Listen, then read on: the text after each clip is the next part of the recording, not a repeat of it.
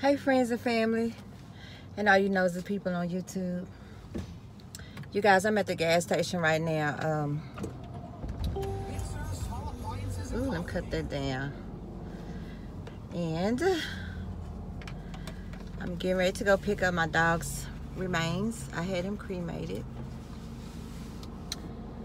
And uh, the hospital just called and told me that uh, uh-oh, I didn't close the, yeah, hold on. I didn't close my gas, uh, hold on, I'm sorry.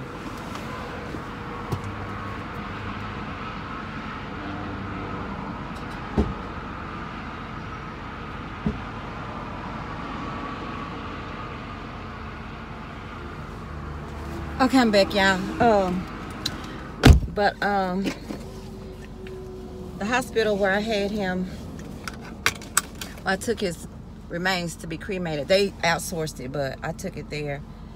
He was supposed to be ready Friday. But uh, anyway, he's ready today. So I jumped in my car. I said I'm on my way to pick him up. That, that was my baby. Um, basically, what happened to my dog? Uh, my gate, my back, the gate, the latch on my fence had become broken and uh, I have some guests living in my home. It's my play brother and his fiance or girlfriend or whatever. I don't know what their title is, but uh, they're not married yet. But anyway, they're staying at my house until their place is ready. And I explained to them, him and her, about my latch on my back gate. You know, I said it's broken. You have to manually push, pull it together. It, you can't just shut it because uh, the spring is missing. Anyway, my brother came home and uh, he left my gate open. It was an accident. I get it. But I still suffered the loss. You know, my dog got out. And uh, my fat dog, he was an older dog. He was he was really old, you know, but he was still living, still kicking it. But he got out the gate. And y'all, this happened from start to finish. Everything happens in a matter of four minutes.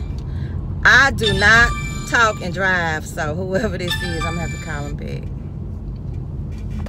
I mean, I don't talk on the phone. I know I'm talking to you guys. I'm driving. That's different because y'all not talking back to me.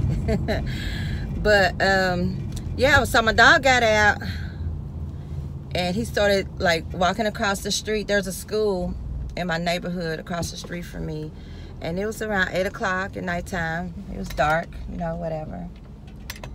And he was walking across the street, headed towards the school. And this lady came and, and she ran over my baby. She broke his neck and crushed his head. And it happened so fast, just like that. My baby was gone. And uh, I'm still dealing with it. I'm doing good just talking about it right now because at first I was very angry. I was pissed off.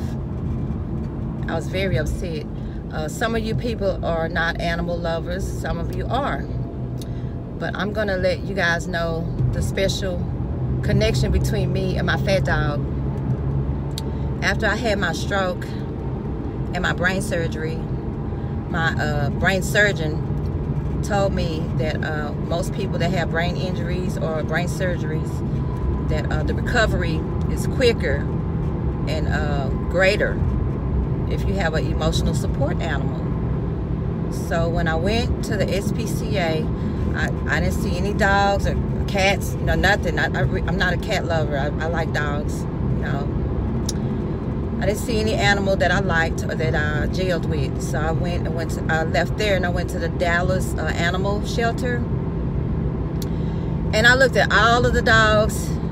You guys, I'm not I'm not kidding you. I looked at every single dog in that shelter. Okay? And um I asked the guy, I said, is there any more other dogs? I said, I just don't like any of these dogs. I don't have a connection with them. And he was like, yeah, but you don't want to see them. We're getting ready to uh, put them in the gas chamber. I said, well, can I just see them? You know, see what you got back there. And so when I walked, he took me to the back and he showed me the little animals all in these little cubby holes. They they were getting ready to go into the gas chamber, you guys. They were getting ready to euthanize these animals. and that's when I saw my fat dog, and he was like scratching to get out.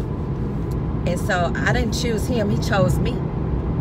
You know, I saved him. I saved his life, and he saved my life. And if you don't get it, you just don't get it. You know, that was my dog, and he helped me uh, recover from my stroke. He helped me recover from my uh, brain surgery. And uh, what's really ironic about the whole thing, not only did I save his life, he when I was taking him back and forth to the vet, the vet told me that he outlived his life. When I first got him seven years ago, they said he had outlived his his breed by seven years, and I had him for seven years. So he lived uh, 14 um, human years beyond his breed, and he was still alive. It's what what really pisses me off. My dog was still. I mean, he was still kicking it even though he was an older dog, and that was my baby. So that's the connection that me and my fat dog had, and it's been severed. You know, it's very painful. That was my baby.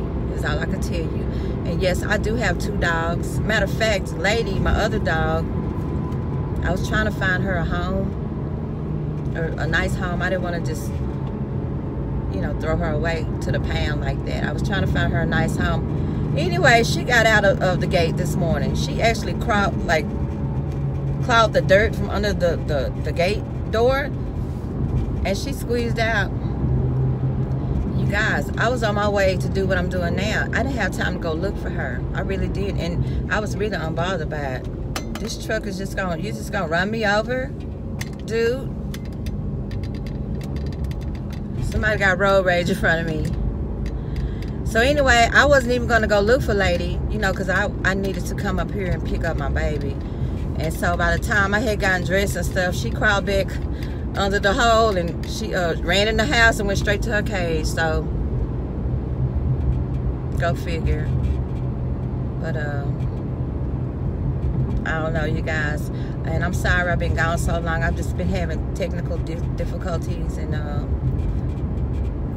just don't have the, the help that I need. So I'm gonna have to learn, start learning how to edit videos and how to um, work these cameras and phones and stuff. I, that's something I've always been shy of. I've never been electronically inclined to do anything, not even to hook up a VCR. I think, yeah, here we are.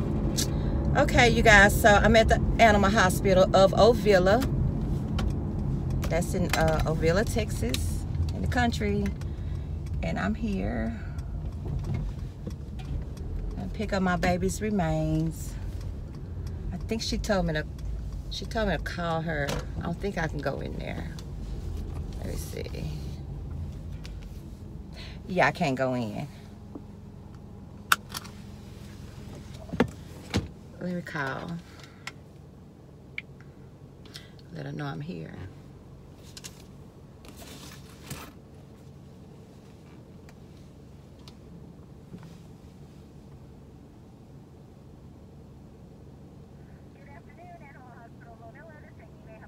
Hi, Amy. I'm here to pick up my fat dog's remains. I told Rhonda I was on my way.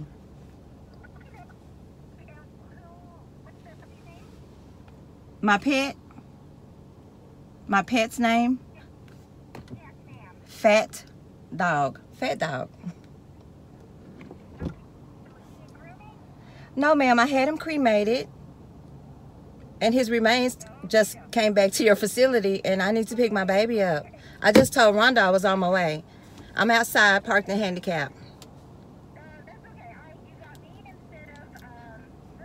okay. that's okay. No. Fat dog. Mm-hmm. Thank you. I'll tell you my baby's name five times. Oh.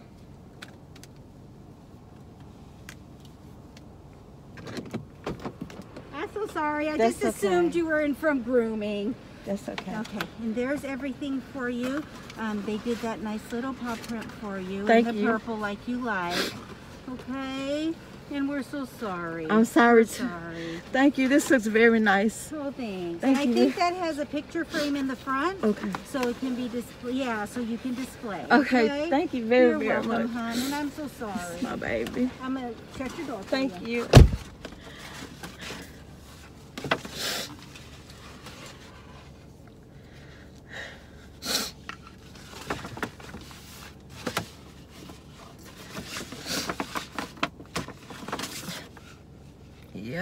it's ashes, you guys. So I could put his little picture right here. And I got his paw print right here.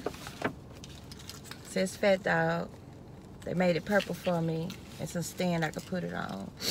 That's my baby's paw print.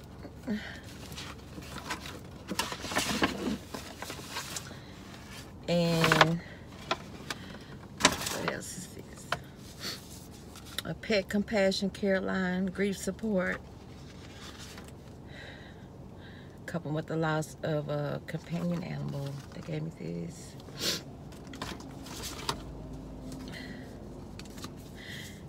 and a card. I, I can't read this right now, you guys. I don't I don't want to just totally break down. And they gave me this these brochures, whatever this is. Oh.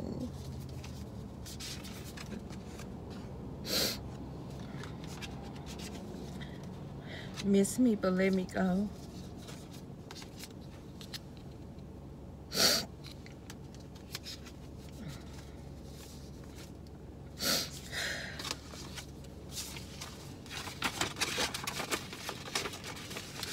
I'm sorry, you guys.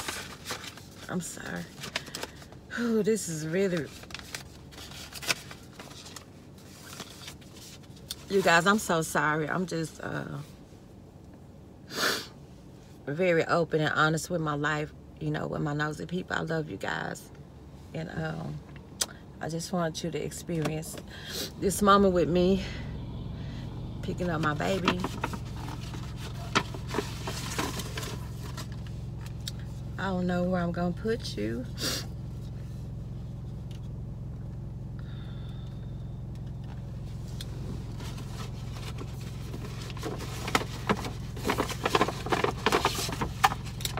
But I'm I got that done. Uh, I don't.